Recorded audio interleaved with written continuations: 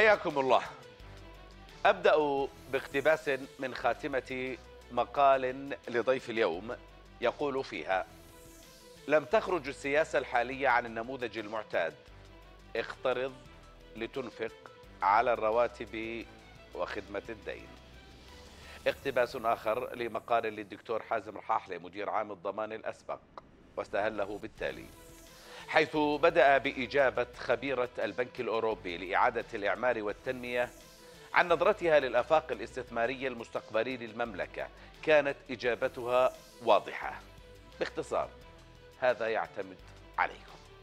إذا بيت القصيد هو من يدير الاقتصاد.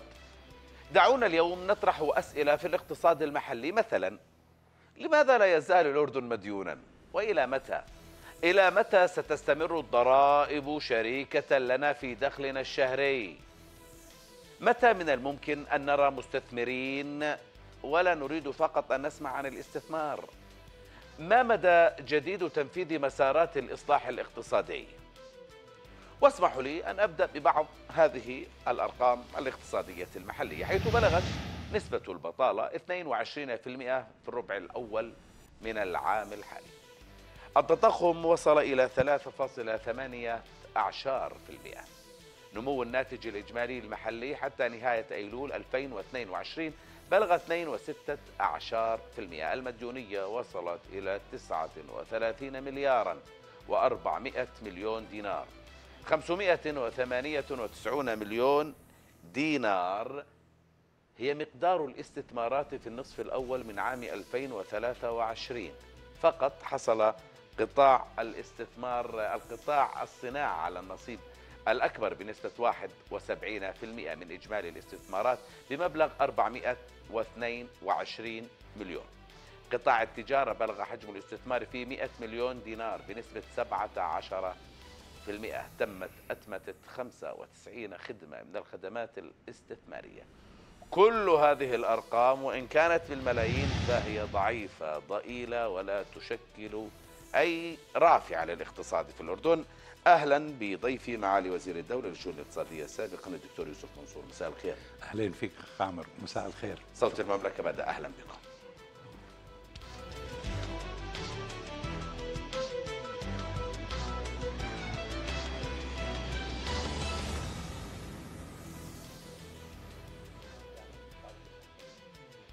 أهلا بكم من جديد وجدت ترحاب بضيفي مع حفظ الألقاب سبدأ وهذا اللقاء. أهلا بك دكتور. أهلين فيك يا هلا مساء الخير للجميع. مساء النور. دكتور نسمع دائما عن مديونية عن ضرائب عن رسوم استثمار غير استثمار. نسمع عن كل هذه المصطلحات. وفوق هذا كله ما زلنا نقترض. الحكومة وعدت بأنه لن نقترض. اقترضوا. اقترضوا. يا بتقترض يا بتزيد الضرائب. كويس. اذا أنت قلت في مقالتك وسأعطيك اليوم وقت للحديث. يعني مش إني بزاوغ فقط أنا بدي أفهم للأمانة موضوع الاقتصاد بالأردن. الموضوع هو كالتالي أنت قلت في مقالتك إنه اقترض لتنفق على الرواتب وخدمة الدين. هل هذه السياسة الاقتصادية المعمول بها في الأردن؟ نعم. لماذا؟ هذا هو الواقع. شوف على مدى السنوات إحنا تعودنا على الاقتراض. يعني طيب. من يوم أنشئت المملكة وكنا بنقترض. ماشي. آه في قاعدة بالاقتصاد. هلا هذا الواقع. بدنا نبسط بس, بس بدنا نبسط الإجابة حتى الناس جميع تفضل إن شاء الله. فإحنا في الواقع بنقترض منشان نسد آه منشان ندفع رواتب للموظفين اللي في الدولة. ماشي. هذا واحد. دفع الرواتب. اللي بحكيه على فكرة حذرت منه الأجندة الوطنية وثيقة الأجندة الوطنية اللي صدرت في 2005 ماشي. okay, okay. وكانت وقتها بتحذر أنه سيتم سيستمر الدين في الازدياد من ذلك الوقت ها؟ كويس. فبذهب للرواتب. بعدين وللمعاشات معاشات التقاعد. الرواتب بنوعيها. الرواتب بأنواعها. وخدمة الدين. يعني أنت عليك دين بتروح تقترض مشان تسد الدين. الدين بحد ذاته راح يزيد. فائدة. آه. لأنه الفائدة تراكمت عليك تراكم عليك تراكم. أنت ما عم تسد الدين. يعني بتجيب دين جديد ليسد الدين القديم. دين جديد. مثل أي واحد فينا بتعامل مع البنك بيروح على البنك بيقول له عيد لي جدولة الدين أو كويس. بتدين من بنك لأسد بنك. نعم. هذا اللي بيصير. اشتري لي قرضي وما إلى ذلك. آه، هلأ في قاعدة اقتصادية بسموها القاعدة الذهبية. أن الدولة لا تقترض إلا من أجل مشاريع. يعني لو اقترضت والله مشان تسوي موانئ جديدة. أو الناقل الوطني مثلاً. أو الناقل الناقل يا عيني عليك آه. الناقل الوطني. يعني كنا بنحكي بالناقل الوطني عن نهر عن قناة صرنا هسه نحكي عن أنبوب. صغرناه ليش؟ خليه قناة. واقترض يا سيدي اقترض 3 مليار. تعرف شو راح يصير على على على, على هذا النهر؟ بصير أوتيلات بصير تجمعات سكنية بتصير أراضي بتصير زراعة ثانية. يو you know. فأنت يعني استعمل خيالنا شوي. بس عم تقترض أنت وبروح للرواتب. فأنت ما عم تزيد إنتاجية المواطنين الأردنيين. ما عم تزيدها. صحيح. أنا عندي أكبر عشان يعني هيك إحنا رواتبنا متدنية وما في زيادة 50% من النساء رفضوا آه، وظائف بسبب المواصلات لأنه ما عندي مواصلات ملائمه هل يعقل ذلك؟ وبنفس الوقت الحكومة تقترح أه أه أه تحتكر آسف نعم. الحكومة تحتكر حق إنشاء مواصلات عامة كسكة حديدية. وبنفس الوقت هي التي ترفع عليك البنزين. هلأ بكل العالم كل العالم الدول ترفع أسعار البنزين مشان تخليك تتقشف في استخدامه. تخليك تتوجه للسيارات الكهرباء آه، للسيارات الهايبرد آه. الهجينه الهجينة. آه، أو إجراءات ثانية. بس بيكون عندك مواصلات عامة صح؟ صح. أو بتعطيك دعم لكي تتوجه للكهرباء. يعني بأمريكا هلا إذا بتشتري سيارة كهرباء بدعموك 7000 دولار. هاي أمريكا. أم الرأس بكرة بجوز يرفعوا رسوم سيارات الكهرباء. ممكن جدا. عارف ليش بنرفع الرسوم؟ مشان نسد الدين. مش مشان ننفق علي وعليك. يعني كل يوم نسمع آه آه إنه والله هاي الجامعة بدها مصاري وهذا وهذا المستشفى وهاي البلدية هاي الشوارع الناس. يعني صارت البنية التحتية بحاجة لتنمية لمراجعة. منا رؤية اقتصادية. حتى الرؤية الاقتصادية. هل هي واقعية دكتور ولا غير واقعية؟ من قام بها بالغ شوي. شوف. ولا كثير؟ لا لا مش عبالغ شوي ولا كثير. أعطيني رؤية نص نص. كويس. بس نفذها مشان الله. يعني أنا ما بيهمني إنها تكون رؤية عبقرية. بهمني إنه تتنفذ. إذا إحنا هذه هذه إجت على ظهر 55 رؤية وخطة واستراتيجية قاعدة على الرف. بتلم غبر. آه آه آه. كم خطة عن اقتصادية؟ عندنا 55 خطة. خطة ورؤية و واستراتيجية. عندنا استراتيجيات قطاعية عندنا استراتيجيات شو والله إحنا أكثر ناس أكثر بلد مدروسة وأنا بعمل دراسات طول الوقت يعني عايش من وراء الدراسات فبتذمر من كثر ما في دراسات في الأردن. 55 خطة؟ لن تنفذ ولا واحدة؟ آه لا ما حد ولا واحدة تنفذ طيب شو فائده الخطط؟ لا شو فائده اللي عملوا في البحر ما هو الميت؟ المفروض إنه هاي تكون مختلفة. رحت على البحر الميت؟ آه رحت. شو رأيك؟ آه يعني لازم أحكي ولا؟ لازم آه طبعا طيب.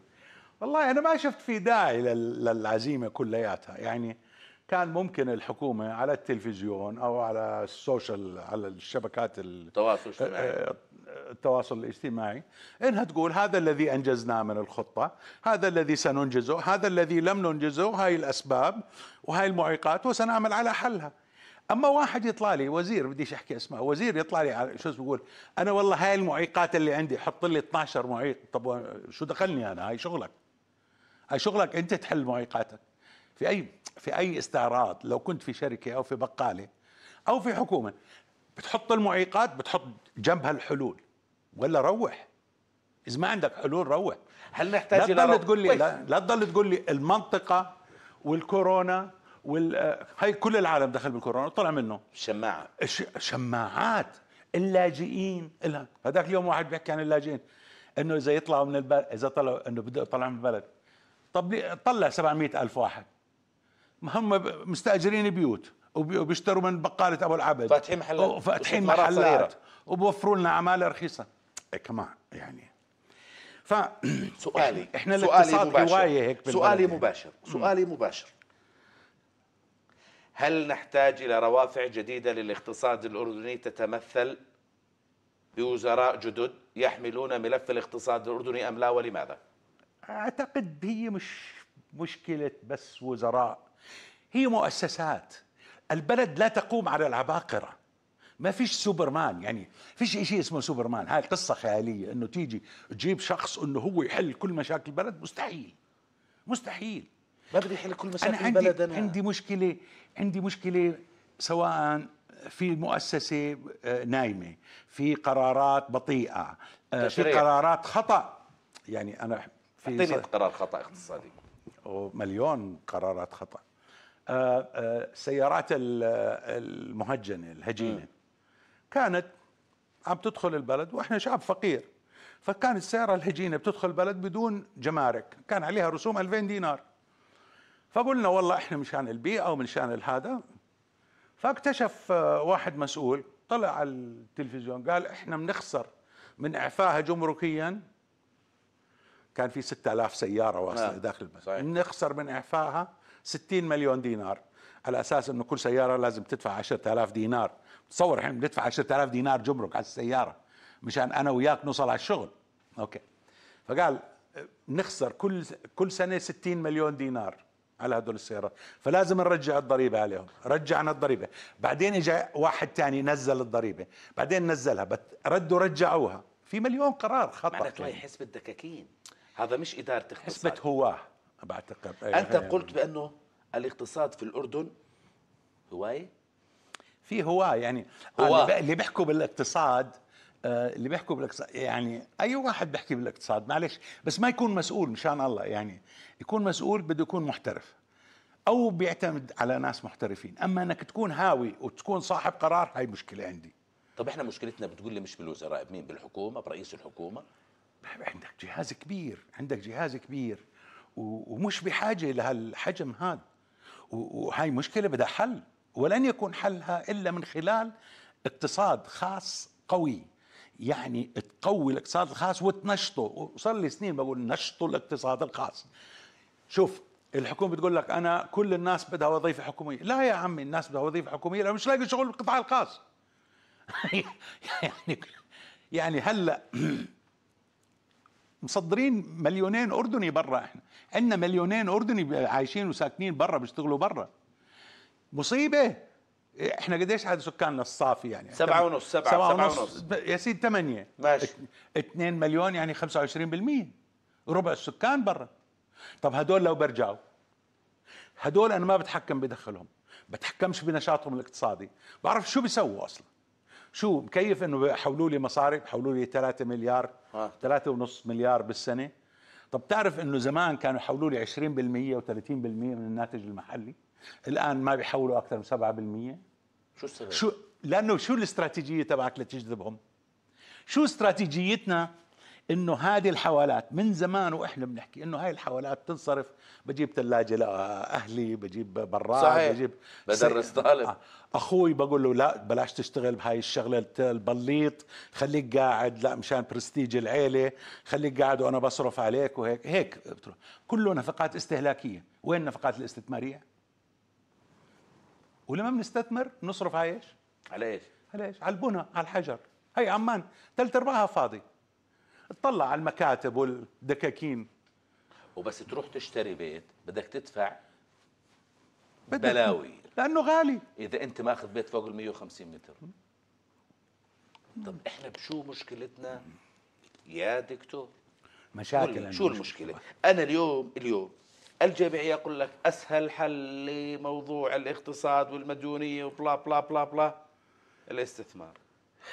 صار لي خمس سنين هون على هالكرسي. استثمار استثمار. خليني أتنبأ أتنبأ على الموقع آه. هلا هون على آه. البرنامج. تفضل. شوف يا سيدي راجع أنت الاستثمارات اللي إجت على البلد.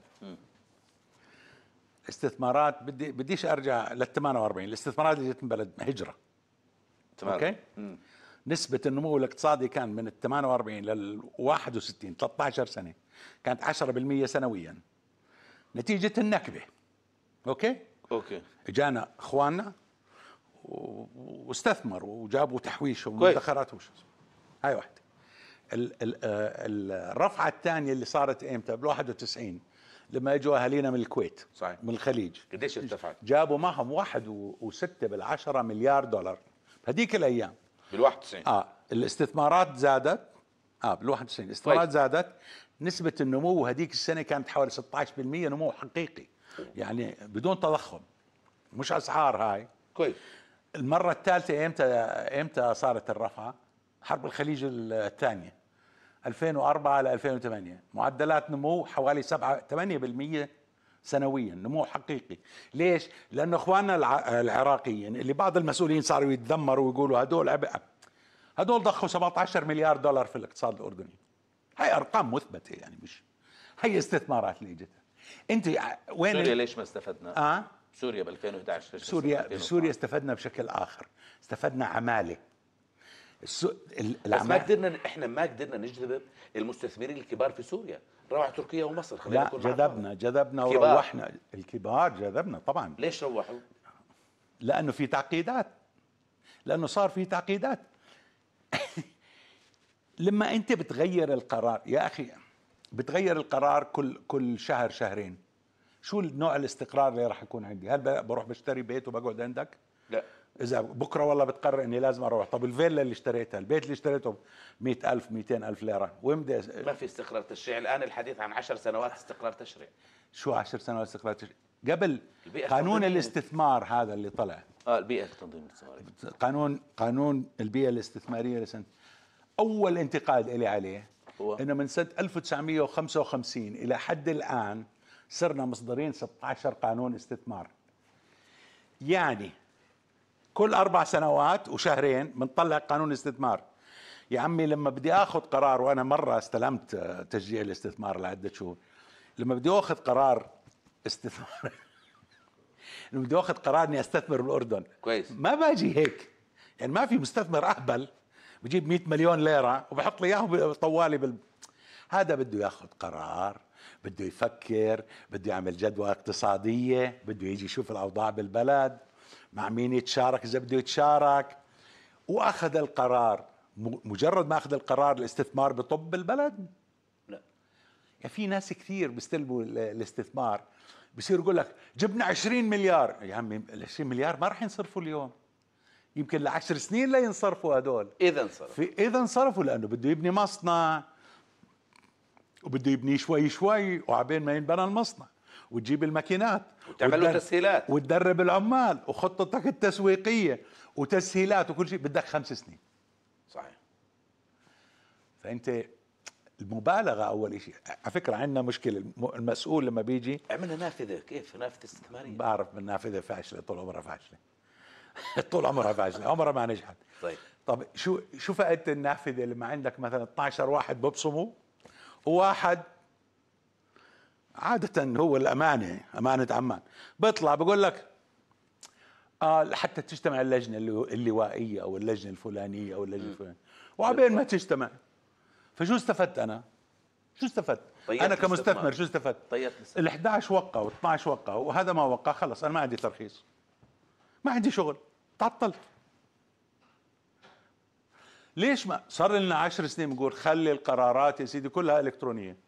كل اللي بدك تعطيني إياه خليه الكترونيا. مشكلتنا بالوزراء أم بالقرار النهائي؟ والله آه. دكتور احكي. بالوزراء والقرار النهائي لا في في يعني هل الوزير اليوم قادر على اتخاذ القرار دون العودة إلى رئاسة الوزراء؟ هل الوزير اليوم قادر على معارضة رئيس الوزراء إذا كان هو مقتنع بالفكرة هل الوزير لا, اليوم لا يستطيع لا يستطيع ما أنا عارف. بكمل. تفضل. لا أي وزير شوف إحنا مش حكومات حزبية يا ريتنا حكومات حزبية لما بكون الوزير جاي من حزب وخلفه حزب والتشكيلة الحكومة صارت نتيجة ائتلاف أحزاب فأنا بمثل الحزب الفلاني وفلان الحزب الفلاني الوزير بده بده الرئيس بده يحترم إنه هذا الوزير جاي وقاعد بيمثل مجموعة في وراه مئة ألف واحد مصوتين له ولحزبه وبالبرلمان بشله. فبخاف آه، تسقط الحكومة. إحنا لا الوزير بيجيبوا رئيس الوزراء. وإذا قال له لا. وإذا قال له لا بروح. بعد الفاصل أكمل هذا اللقاء. تفضلوا جميعا بالبقاء معنا قبل ما يروا فاصل قصير أول.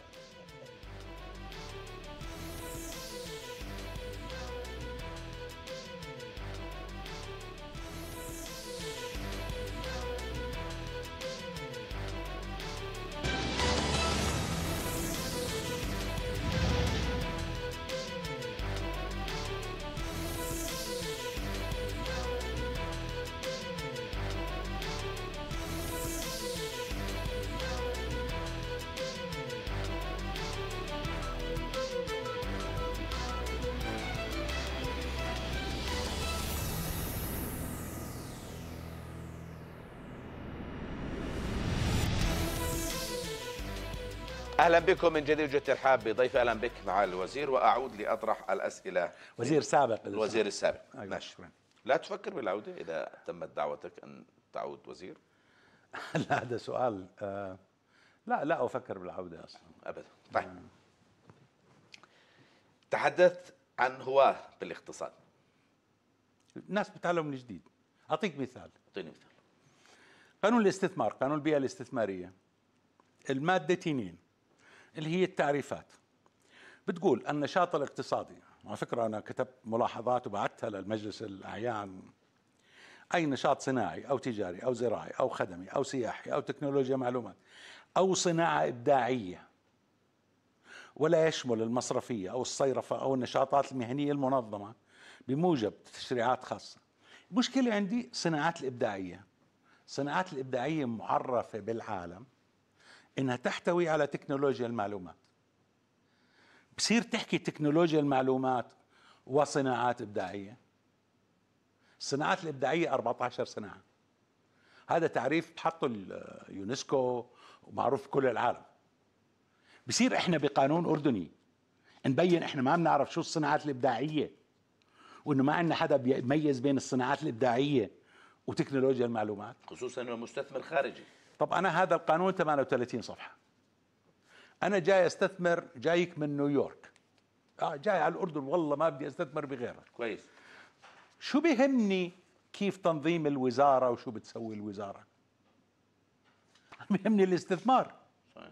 شو دخلني والله الوزير يقوم بذلك ولا. شل الأشياء الإدارية. بعدين كله تهديد ووعيد. هذا قانون هذا قانون تشجيع استثمار. على 10 سنين هذا. أنا جايك ما بعرف لغتك. كيف بهدد؟ ولا بعرف ثقافتك. عقوبات العقوبات اللي آه فيه العقوبات. قانون تشجيع. تحفيزي. أنت بتكتب عن شركتك. بتحط فيها أشياء جميلة. مش تقول والله اللي بيكتب لي شيك بدون رصيد لا أعمل فيه وأسويه وبكره على المحكمة وعلى الشرطة. هاي اللي هو هيك مثلا. مثلا. كويس. بدي أروح لك على النقطه الثانية الضرائب آه. الدينار الأردني. قديش أنا بدفع منه ضريبه كل دينار معي. بين الضرائب والرسوم شوف كله كله كله. في ناس بيغلطوا بيطلعوا بس على الضرائب. لأنه بيفكروا إنه الرسوم شيء بسيط إنه آه، قليلة بالأردن. الرسوم 2.6 بالعشرة مليار دينار تقريبا. الرسوم؟ الرسوم. 2 و6 و6 بالعشرة مليار. في مرة بحث عملته مع جماعة البنك الدولي. فكان بيقول له الرسوم قالوا لا الرسوم مش مهمة. شو الرسوم الرسوم مهمة جدا بالأردن. هذول غير 5 مليار الضريبة؟ غير الضريبة آه طبعا. لا تسمى ضرائب أصلا رسوم هي. 2 و6 رسوم جواز السفر رسوم آه، الأراضي. الأراضي الاخ الاخ الاخ الأراضي طب ليش ليش بالله أنا أدفع 9% و10% نسيت. من زمان ما اشتريت أرض ولا بعت أرض. ما حدا قابل يشتري ولا قابل يبيع. ف 9% ليش أدفع 9% على معاملة بتاخذ الموظف ربع ساعة؟ عشان هيك ما حدا بيشتري شقق والشقق مليانة. بدك تشجع بدك تشجع نزل. هذا نزل. بس خلي الناس تشتغل. بس إذا نزلت بضلش معي مصاري أدفع رواتب بضلش معي مصاري أدفع تقاعد بضلش معي مصاري أسد الدين. فأنت أنا بقول اصعب أصعب وظيفة في المملكة هي وظيفة وزير المالية. طيب خليك معي لحظة. أنت اليوم بتقول لي 2.6 بالعشرة مليار هاي الرسوم. آه. الضرائب كم؟ خمسة؟ كمل. يعني بيطلعوا كلهم 9 مليار. 9 مليار ضرائب زائد رسوم. 9 و10 مليار حسب كويس. كويس. خلينا على التسعة. 9 مليار ضرائب زائد رسوم. وإذا الحكومة ما أخذتهن ما في رواتب. طبعا. وما في خدمة دين. نعم طبعا. يعني هي السؤال بس فقط. أنا بدي أطرح سؤال. لو قلنا إن 9 مليار نقصن الحكومة بتروح بتزيد ضريبة؟ تتدين ولميت الحياة؟ لسه. ما إحنا لسه ما حسبنا الدين. فأنت فوق هدول بدك تتدين وبدك تقترض وبدك تيجيك مساعدات. بس إحنا بيجينا مساعدات. طبعا بيجينا. إحنا ثاني دولة بالعالم ب... إذا حسبنا المساعدات نسبة لعدد السكان إحنا ثاني دولة بالعالم كم قيمه المساعدات. توصل للأردن سنويا تقريبا؟ توصل هي 4 واحد ون- مليار؟ لا لا. يا ريت توصل 4 مليار. لا حوالي واحد ونص مليار 2 مليار. 2 مليار. yeah. هاي المساعدات. يا. طب سؤال. زمان يعني لما سوري لما بنحكي اليوم نعلن بكل فرح إنه نبدأ برنامج إصلاح اقتصادي معلش أعلق على كلمة إصلاح اقتصادي. يا ريت. بنقول إنه والله إحنا بدينا برنامج إصلاح اقتصادي جديد مع ال IMF عارف شو معنى كلمة برنامج إصلاح اقتصادي جديد؟ معنى إنه رح نتدين من جديد من ال IMF من صندوق النقد. فلا تقول لي إنها إصلاح. هذا هذا دين مشروط بشروط. الآي إم إف صندوق النقد الدولي وأنا ضده على فكرة آه هو لما بيمسكك بحط عليك شروط مشان يضمن إنه ترد يسترد دينه. فصار عندي الاقتصاد يقود الفكر المحاسبي. يعني ليرة بليرة. وهذا مش راح ينجح أنا بالنسبة. لي الاقتصادي الليرة مش ليرة. الليرة اللي بتنصرف بالكرك غير عن الليرة بتنصرف بعمان غير. عن عن إربد. صحيح. ها؟ صحيح. يعني يمكن تشتري لك أكثر. صحيح. يمكن تشتري بالعقبة أقل يمكن. okay؟ فهو ال- الاي الصندوق هذا مهمته إنه كيف راح تسدني؟ منين راح تسدني؟ بصير أقول له والله برفع لك الضريبة على فلان برفع الضريبة هون ما هيك. هذا صندوق النقد شو الإصلاحات اللي صارت؟ صار لنا هلأ يمكن البرنامج 12 راح يكون. صحيح. برنامج 12 إصلاح اقتصادي. بتذكر ب 2004 قلنا إحنا تخرجنا من ال من الإصلاحات الاقتصادية وصرنا نحتفل إنه والله الأردن دولة مبدعة وإحنا بدأ النمو عندنا لما اجانا المهاجرين وبدوا آه، صحيح. المهجرين وبدوا بدوا يحطوا مصاري بالبلد. معدل النمو ارتفع في 2004 عن 2003 صحيح. بعد حرب الخليج الثاني. فصرنا نقول هذا نتيجة نجاح الإصلاح الاقتصادي. بالله؟ قبل ثلاث سنين كان معدل النمو 2% معدل النمو بسنة 2000 كان 2% واليوم ثبتوه ثلاث ل 25 2.4 إحنا يا سيدي دخلنا حالنا الأزمة المالية العالمية في نهاية 2008 ولم نخرج منها للآن. مين دخلنا فيها؟ إحنا دخلنا حالنا فيها. الله يسهل عليهم كلياتهم. هذا قرارات أخذت بالخطأ برأيي بالخطأ واستمرينا على الخطأ و- ومكابرين. طب أنا بدي أسأل سؤال.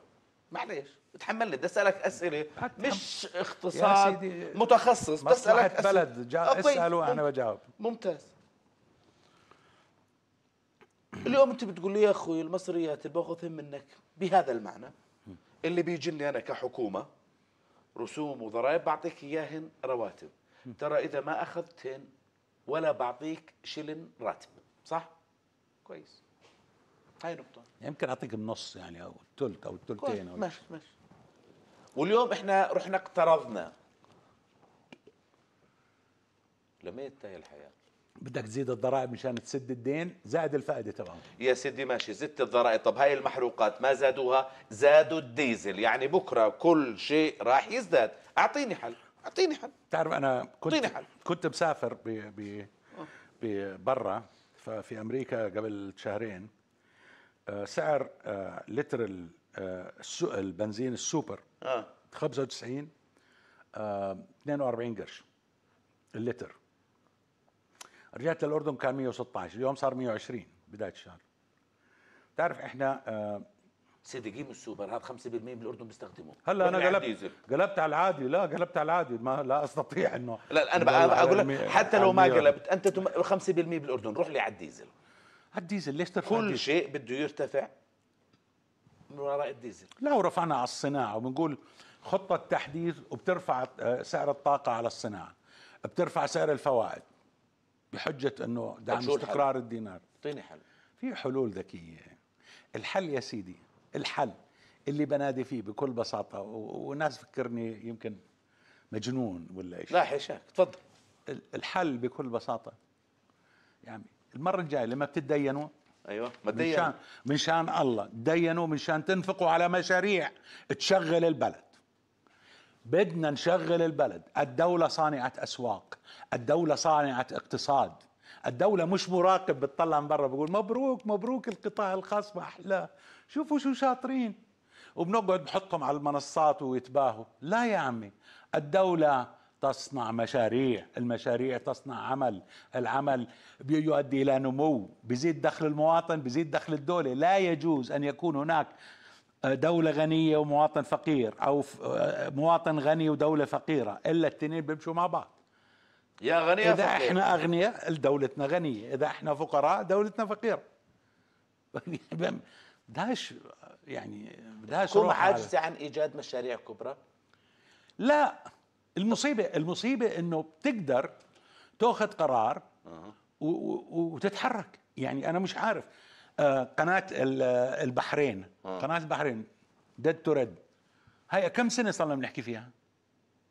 السكة الحديدية كم سنة بنحكي فيها؟ أنا ب- بضمن لك إنه فوق ال 30 سنة. مش ما اخذتوا قرار. مين اللي بتاخدش قرار؟ آه. وليش بتاخدش هذا القرار؟ يا سيدي إذا ما أنت إذا- عندك دراسة معلش أنت بداية الحلقة قلت لي أنا يا عمي أنا اللي عندي الدراسات ماشي؟ طيب. إذا أنا عندي اليوم دراسة جدوى وهاي دراسة جدوى واضحة. كويس؟ وعندي هذا المشروع عنده قيمته بتقول لي يا أخوي أنت بدل ما تقترض وتروح تزيد آه، تسدهن آه، خدمات اقتراضية تعال بدي أعمل مشروع هذا المشروع يحرك سوق العمل داخل الأردن. بستفيد منه بالتشغيل واستفيد منه بكذا كذا خلال 10 سنوات أو 13 سنة بحقق لي اللي بدي اياه ودخلك ليش ما يتخذوا هذا القرار؟ ما الذي يمنع أن يتم اتخاذ مثل هذا القرار؟ أصحاب مصالح خاصة تتدخل عندنا كثير هي أقوى من الحكومة؟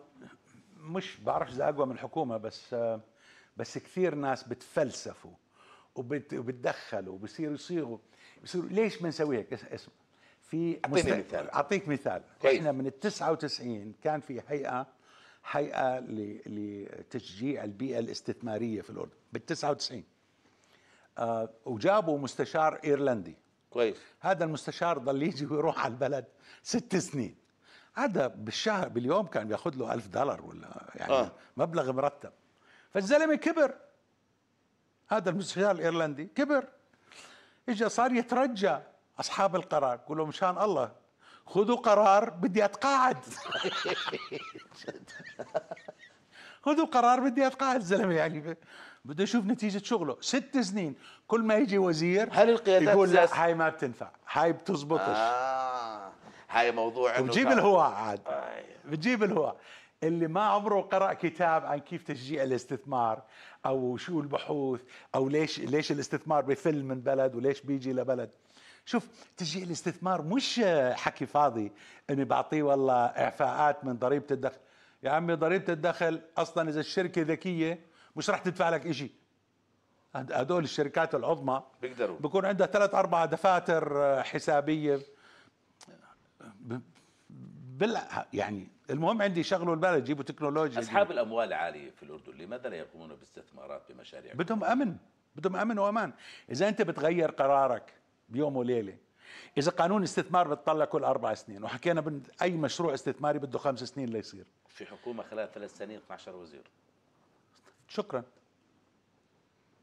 شكرا. لا وبعدين إحنا الوزير مهم بالعملية لأنه لأنه يعني طبعاً. بيمشي لك شغل أو ما بيمشي لك شغل. يعني بي- بيعتمد على العلاقة الشخصية في كثير من الحالات. وبعدين في في آه. أشياء مبهمة. يعني مثل مثلا شو؟ مثلا هون بالقانون بهذا القانون بقول لك آه، يعتمد إذا كانوا ماهرين. طب شو يعني ماهرين؟ شو يعني؟ يعني مواسرجي ماهر ولا ولا طبيب بدك؟ العمالة حاطين نسب للعمالة. المستثمر ينظر إلى قانون الاستثمار أو ينظر إلى البنود التي تهم المستثمر. المستثمر بينه وبينك ما في غير قانون الاستثمار. تعرف شو الدول الناجحة بالاستثمار شو بتسوي؟ بتجيب فريق ثلاث أربع أشخاص شاطرين مرتبين. تمسك جدوى اقتصادية لمشروع. أو ما يسمى concept note ورقة ورقة مبدئية أو جدوى مبدئية وبيطلعوا عليه على بلده. بقولوا تعال استثمر عندنا بقول له ما أنتم بقول له شو بدك؟ بدك اياه بنعمل لك اياه شو بدك؟ في دول هي اللي بتبني لك المصنع مشان تيجي عندها. وبتعطيه أول خمس سنين ببلاش. في دول بتعطيك بتقول لك أنا بدفع لك تونس عملتها بالزمن القانون المصري كويس تبع الاستثمار؟ ممتاز ممتاز ممتاز. قانون السعودي ممتاز. السعودية أنجح أنجح دولة الآن في جذب الاستثمارات السنة الماضية. بعد الفاصل سأكمل هذا الحديث. فاصل قصير أخير تفضلوا البقاء معنا.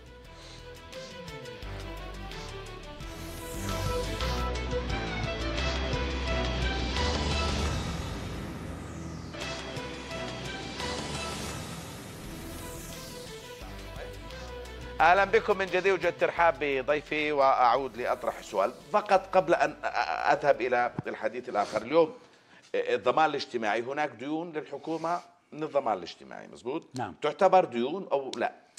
شوف ال- الضمان الاجتماعي والحق يقال آه، آه، أنت الضمان الاجتماعي يعتبر آه، نوع من الضريبة. كويس. هي تسمى ضريبة الضمان الاجتماعي. ماشي. مشان هيك وفي ناس بقول لك كثير بقول لك هاي مصارينا مش صحيح. مصاري الدولة. صحيح. لكن لو كانت مصارينا الدولة ما بتقدر آه، ترفع عليك قضية لما ما تدفعها لما تخالف. هي صحيح. مصاري الدولة. أوكي؟ هلأ لما الحكومة تتدين حوالي 8 مليار من أصل 14 مليار آه، هذا بيدل على شغلتين. الأولى؟ آه، استسهلت. سهل جدا. ترفع التليفون بدي 50 مليون. أنا. أنا أنا فلان بدي 50 مليون قرض وإذا ما اعطوهوش؟ يعني مرتين تحكيها بتروح. شو؟ صحيح والله كلامك إحنا صحيح. بالأردن. صحيح. كويس. كويس. تغيير المسؤولين آه، سهل. آه، عمرك بعدين بير- عمري الشغلة بيراضوا الثانية. بمنصب ثاني تفضل. الشغلة الثانية إذا كان هذا إذا كان هذا الأمر هو الواقع أنا مش بحاجة لصندوق للضمان. يعني مش بحاجة يكون في كذا موظف ورواتب عالية ومكافآت. إذا كان هذا هو الواقع خلاص يا سيدي خذوا الدين كل ال 14 آه، مليار. تعتبر دين؟ تعتبر دين آه منها وإلها. تعتبر. هي بس هي بتسد بيقولوا لي للأمانة يعني. هي بتسد آه، أكيد بتسد الفوائد كويس. وما بعرفش إذا بتسد الأقساط كمان. بس دائما في أفضلية لسداد الدين الخارجي مش الخارج آه، مش الداخلي. الداخل منمون عليه. طبعا بتمون عليه. أصلا أصلا لو ما كان الدينار مربوط بالدولار بتقدر تقترض من جوا من داخل البلد قد ما بدك. كل دينار بدفعه بروح منه 30 قرش للحكومة. برسوم وضرائب نعم. يعني راتبه 500 دينار راتبه الحقيقي. يعني 300. يا بالمعدل إحنا بنقول بالمتوسط. بالمتوسط. يعني يعني كلنا بالمتوسط آه، آه، الاقتصاد حجمه 34 مليار أنت ب 10 مليار 10 مليار قسمها 34 يعني حوالي 30 30% 30% يعني كل دينار 30 قرش. هلأ مقابل إيش؟ خلينا نعد مقابل إيش؟ شو بتاخذ عندك أولاد؟ الحمد لله. حطهم مدارس؟ مدارس حكومية؟ مدارس حكومية ولا خاصة؟ واحد حكومة واحد خاصة. ها؟ هذا الخاص. شوف الخاص لازم الحكومة تدفع لك مصاري لأنه ما كلفتها في المدرسة الحكومية. يعني كلفة الطالب في المدرسة الحكومية 125 ليرة بالسنة لازم تعطيك هاي 125 ليرة عامر بيك لأنك حاط ابنك مدرسة خاصة وخففت العبء عنه. أوكي؟ أنا المفروض أولادي يروح يروحوا على مدرسة عامة ع- وأنا صغير أنا خريج مدارس حكومية كانوا أساتذتنا صحيح. عمالقة وكان رواتبهم ممتازة والر- والأستاذ طب هل لل 30 30 سنة استنى شوي آه بعدين مستشفيات. مية مية بتقدر تشرب مية من الحنفية؟ آه. بتق... لا. بتقدر تشرب مية من الحنفية إلا تشتري مياه معدنية بالغرب كله بالدول المتقدمة بتشرب مية من الحنفية مقابل إنك تدفع ضرائب الكهرباء الكهرباء مش مدعومة. الكهرباء عليها ضرائب. الم... إحنا بندفع ضريبة الشمس؟ لا ما بندفع. لسه كيف؟ الطاقه البديلة. آه الطاقة البديلة. أوكي. ضريبة شمس؟ آه هي. ما بعرف ما بعرف ما بعرف. السؤال إحنا وين رايحين بالاقتصاد الأردني؟ هذا سؤال يجب أن يسأل آه، الحكومة يجب أن تتكلم فيه. يجب أن يكون لدينا خطة. ما عملوا بحر الميت وعملوا خطة بتقول لي 55 خطة خطة عنا. تنفذ. ما حكيت لك اول ما حكينا يا أخي عملوا خطة بسيطة بس نفذوها مشان الله. أنا بحكي كل العملية ما بدي لا خطط ولا شو اسمه. ثلاث مشاريع كبار شغلوا فيهم البلد. والله أقول لك قناه البحرين هاي يا سيدي تكلف 4 مليار دولار. أنا بضمن لك تجيب استثمارات مساندة لها ب 10 مليار دولار. بكرة بيفتحوا عليها أوتيلات و و و و هيك بتصير الدنيا سكة حديد سكة حديد هناك من يقول الأردن يمنع سياسيا أحيانا من من إقامة استثمارات كبيرة لا والله؟ بنمنع حالنا والله بنمنع. حالنا. ولا سياسيا ولا شيء معلش. آه، اللي بده يستثمر أهلا وسهلا يعني فكرك بالعالم قاعدين بس ب... ب... بيطلعوا بخيل. علينا، ها؟ شو بيطلعوا على الأردن الأردن، والله يعني عارف الله امرئ عارف قدر. رحم الله امرئ عارف قدر نفسه يعني مش ال- ال- الأردن ق- الحكومة قادرة على تشغيل كم؟ 7000 إلى 8000 سنويا. هذا على ذم الحكومة هي بتقول لك. آه. أحسن الأحوال 10000 شوف قديش رفعنا نعم،. نعم. القطاع الخاص كم بيشغل سنويا؟ حوالي 20 30 ألف. كل ال... كل قدرتها على التوظيف لا تتجاوز 30 ألف بالبلد. مدير الاحصاءات العامه بيقول لك الحكومة أنتجت 70 ل 90 ألف فرصة عمل خلال السنتين ونصف الماضيات. يعني 40 ألف كله. 40 40 ألف 40 40 ألف ثمن آه. 30 35 ألف السنة ونص مليون تبعين دول الخدمة هذول بدهم يلغوا آه. آه شوف آه يعني بنتبع سياسات قاعد نحكي زي أمريكا شوفوا إحنا حاربنا الغلاء. عارف إنه أمريكا نزلت فيها معدلات البطالة؟ صارت 3 و4 بالعشرة. 3 و4 بالعشرة وإحنا 22 وقبل كذا شهر كانت 24 و25% عارف ليش؟ ليش؟ لأنه بايدن رئيس الجمهورية بايدن عمل أربع قوانين ضخ من خلالهم واحد وثلاثة بالعشرة تريليون دولار لتشجيع الصناعة لتشجيع صناعة التكنولوجيا تكنولوجيا معلومات. يعني بدك مشاريع؟ صار لنا كم سنة بنحكي عن الحكومة الإلكترونية؟ زمان. آه وفيها تعقيدات ولسه بدناش نحكي. ننشر غسيلنا أكثر من هيك يعني هلا الناس تحكي الحكومة الذكية مش الإلكترونية الذكية. صحيح. ولسه إحنا على 95 شو عملية. المشكلة عملنا بتعرف شو إيش؟ المشكلة دكتور؟ بتعرف ال ال ال ال أغلب الإدارات اللي بتحول الدول والحكومات الذكية إلى حكومات ذكية هي عقول أردنية. آه. ما شو قلت لك قبل شوي؟ المهم المؤسسات وليس الأشخاص. إحنا عندنا إحنا يا سيدي كنا سابقين كنا سابقين العالم العربي بال- بالتعلم والمتعلمين. الآن لما بتطلع بتطلع في في index في معيار عالمي للابتكار.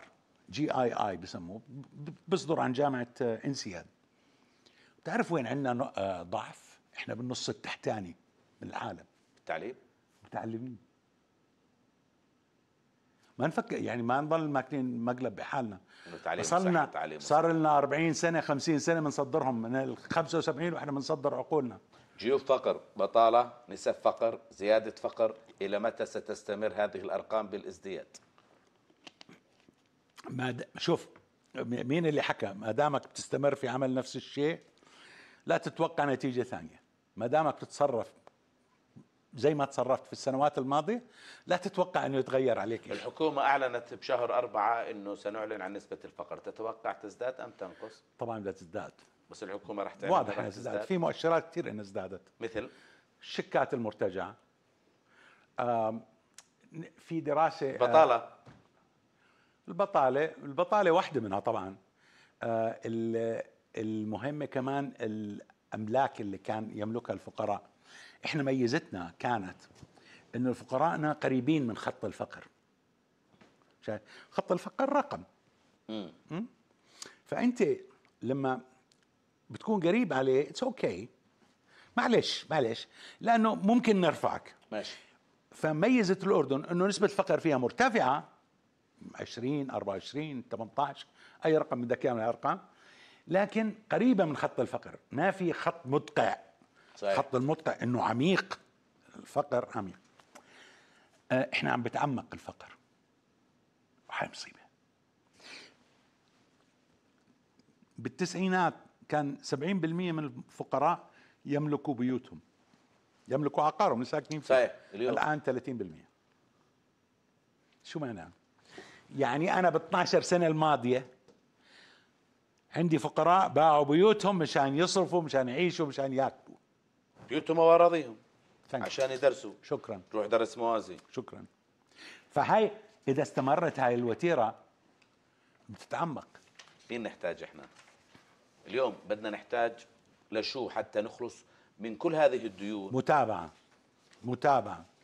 وفكر شوية فكر جريء شوي. جريء وجديد ولا بس جريء؟ لا جريء. ما- فيش شيء جديد. والله كل الناس سووه. ماليزيا تحسنت. آه، إيرلندا من أفقر دولة في أوروبا لاغنى دولة في أوروبا. نحتاج إلى الجرأة في القرار؟ طبعا. فقط. فقط. ونفكر؟ كاقتصاديين مش كمحاسبين. مع احترامي آه للمحاسبين آه هاي نقطة كويسة. كله ضرب بضرب. رفعت آه، ارتفع العجز عندي برفع عليك الضريبة. لا يا آه. عمي فكر. ليس بالفكر المحاسبي تدار اقتصاد الدول. ابدا. ابدا شكرا جزيلا لمعالي الدكتور يوسف منصور الله. يبارك فيك شكرا لك سعدت بلقائك الله يخليك. دمتم بخير التقيكم غدا إلى حين. كل التحيه